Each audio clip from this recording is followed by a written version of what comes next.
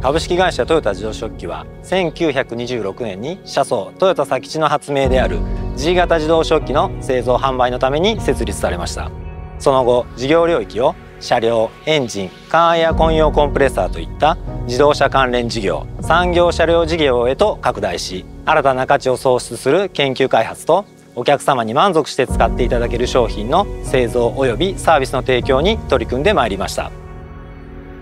カーエアコン用コンプレッサーは世界シェアナンバーワンを誇りお客様である世界中のほとんどのカーメーカー様とお付き合いさせていただいております。年間で約3000万台のカーエアコン用コンプレッサーを製造しております。コンプレッサーハウジングはアルミダイカストで製造しておりここ大部工場とグローバル拠点で年間1億個以上の鋳造部品を生産しています。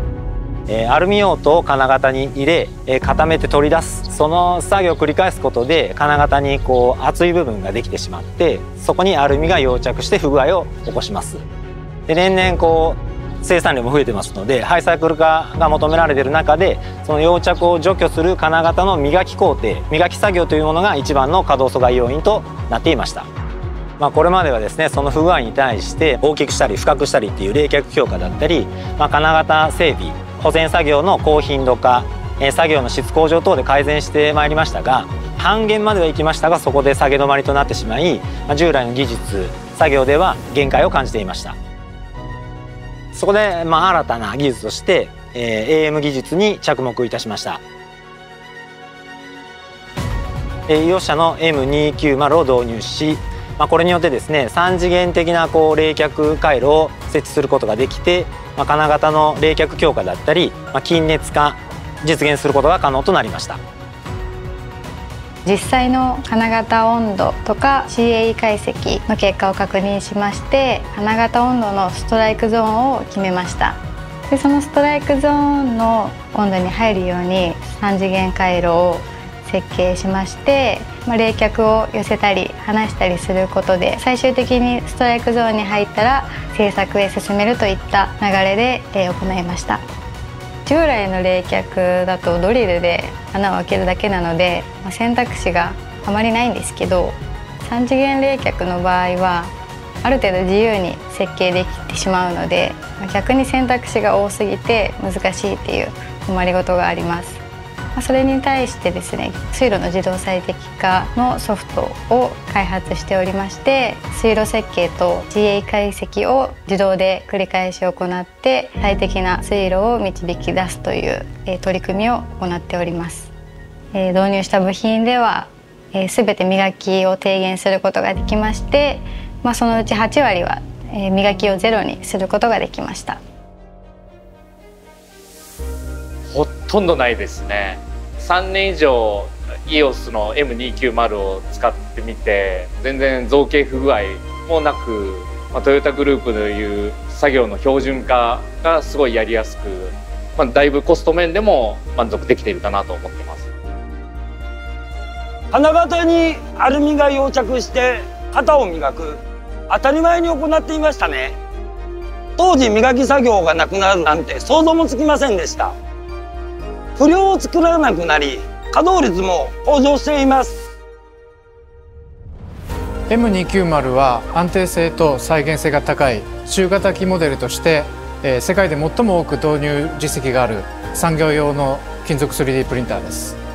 え、試作や研究開発から小ロット生産まで対応するシステムとしてさまざまな業界のお客様に活用いただいております。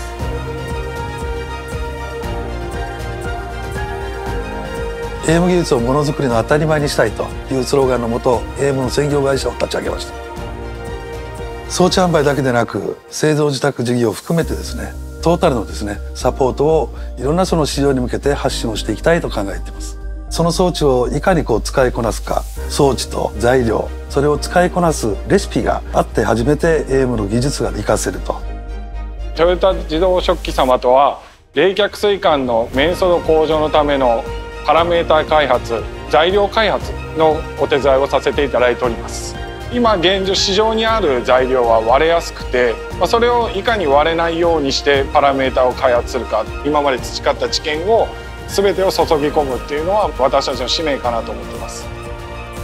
今トヨタ自動食器で使っているのがマルエイジング鋼っていう材料になるんですけれども輸出が難しかったり工場内での扱いも難しかったりするのでイオス様とザム様に海外輸出しやすい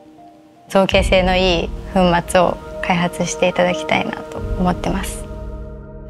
面白い技術だと思っています。これまで実現できなかったような形状ができて自分がこう考えたえ理想的な状態により近いものをデザインできるというのが AM 技術の素晴らしいところだと思ってます。皆さんがそれをたくさん使ってくれることによってもっと AM 技術が進化したりまあ価格が下がったりっていうものを期待しております。品質の認証のプロセス、まあ、これを造形をする中であの自然と品質認証が取れるようなそんな仕掛け作りを作っていく必要性があると考えています、まあ、その中で測定屋というのをうまく活用してサービス化をして市場の方にこう使っていただく。非常にこう可能性を秘めた技術だと思ってます。製造業の創意工夫の幅を広げ地球にとって有害でないものづくりの確立に貢献したいと考えています。AM 技術のパイオニア企業として現在将来の生産上の課題に対してこれまでにないデジタル製造ソリューションを提供します。